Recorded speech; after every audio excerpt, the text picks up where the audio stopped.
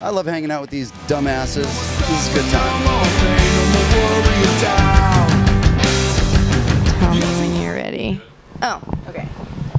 Hello. Denise here with Face to Face. Please, everyone introduce yourself again. Hi, I'm Trevor. I'm Quincy. I'm Chad. This is Scott, everybody. Hi. He makes all of us call him that. Oh.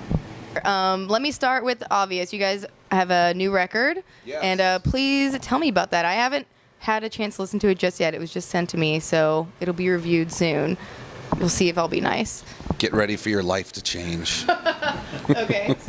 How so? as soon as you hear it. uh, I'm kidding. Uh, our new record's called Three Chords and a Half Truth, and it's the first record we put out on Rise Records, a brand new label for us.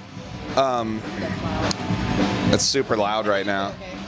Um, our new record is, uh, we're super excited about it because we tried something a little different. I mean, it's still a punk rock record, but um, we're paying homage to a lot of our early influences like The Clash, The Jam, Stiff Little Fingers, 999. So it's got a little bit more of that British kind of feel.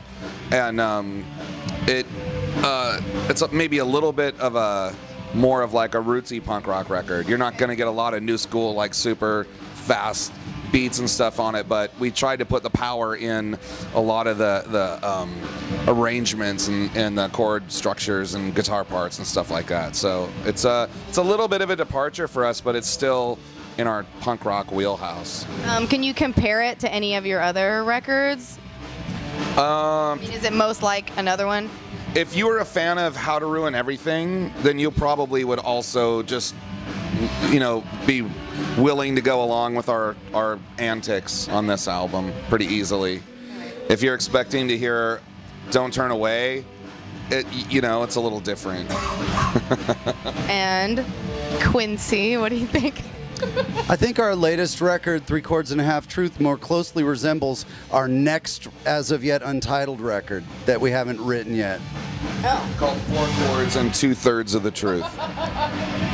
Okay, and it'll be, it's a future, not even a thought in your head yet. Yeah, exactly. Chad, I concur. thank you for your contribution. Add one more chord with each successive record Okay. until we've learned them all. Seems like a long tour, right? Is this a long one? It's it's about 12 weeks total. Yeah. What else are you gonna do? That's true. Chad, I'm switching hands now. What do you get to do now? Well, I'll be home soon, but uh, you know, uh, tour and have fun, right? Right? That's what we Fucking party. totally party. That's what we do. We're totally partying. Yeah, like eating cookies As and evidenced shit. By that giant-sized bowl of guacamole. If that's not a party, I don't know what it is. And cookies. And cookies. No. Now I have to hold it. I'm trying to cut down. Here, I'll put it right here. Tell me, after this tour, 12 weeks, you have your pretend album in the future. What will you be doing after this tour is over? Are you gonna take a break? We only have about a three-week break, and then we're going to Europe. Uh, so, and that'll be for about three weeks, and then um, I think we're going to do a tour through Canada after that, starting in the east on a couple festivals, and then we're going to do headline shows across all the way out to Vancouver or close to it. Um, and that may be it for the end of uh, 2013 for touring. Unless a couple other things crop up, and then we're hoping next year we got to get back to Brazil and um, do another European tour. Hopefully, go to Japan, make the rounds. Who are you on the road with for this European tour? Uh, we don't. It's not. It's mostly uh, like festivals and stuff. So there's some club dates. It'll probably just be local bands. It's not like a package. So no punk rock bowling, you guys? Bottom. Willie. I don't get it.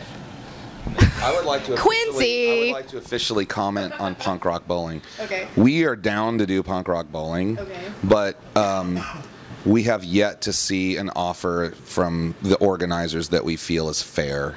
Okay. So Mark and Sean. I'm just kidding. We- we would love to do it. We we were we tried to make it happen this year, but it just it just didn't pan out. So Would you go if you were not touring? Would you just be like a vagrant running around? sounds like my worst nightmare. Quincy, would you go to punk rock bowling? Yeah, I like to drink, so punk rock bowling's fun. I've played it once or twice, I think. I don't know. Did you guys hear about the As I Lay Dying drama with the singer being Scott arrested? About it. I think he probably has more details. Yeah, No. Whatever about Just what everyone else knows that he, I don't know, allegedly uh, solicited an undercover cop to uh, kill his wife or something like that. I just say get a divorce. So, I mean, you guys heard about it. Were you like shocked? Were you like, oh, whatever, everyone's a moron kind of thing? Call him B. the second Yes. part, the second part of your answer. I hear that. I they're barely on my radar screen. I couldn't even tell you what one "As I Lay Dying" song sounds like. um, okay, well, is there anything else that's going on that you guys would like to talk about that you can talk about besides the fact that I'm going to eat this cookie as soon as we're done? I think the cookie eating is imminent. um, no, you know, we, Scott just mentioned it kind of feels like we're barely getting started. We've done the tour kind of in some weird blocks, at least for us, because we've rented a car and stayed in hotels and then rented a U-Haul and then now we're going to finally get like our big bus that's going to come out tomorrow night. That's really going to feel more like we've started the tour, at least on our end. No offense to like the people in Denver or Salt Lake or Pomona Uh-huh. or the other shows that we've done that have been like the tour and the show. But um, I'm looking forward to just getting the re- you know work doing the rest of this tour and visiting all the cities that I like to go to and play all these shows. That I mean that's really the thing of focus at the moment right now, and um, just trying to get the word out about our new record. It's it's a little bit it becomes more difficult the longer you stay a band and the more records you put out to especially if you have older material that's the stuff that the, you know the fans really want to hear it's a little bit more difficult to kind of get people to sort of come and listen to the new songs and it seems to get a little harder with each new record where people are just like i just want to hear the self-titled record i don't care Right. right. Well, that'll conclude the interview portion of our interview.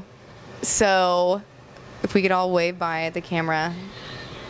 parade wave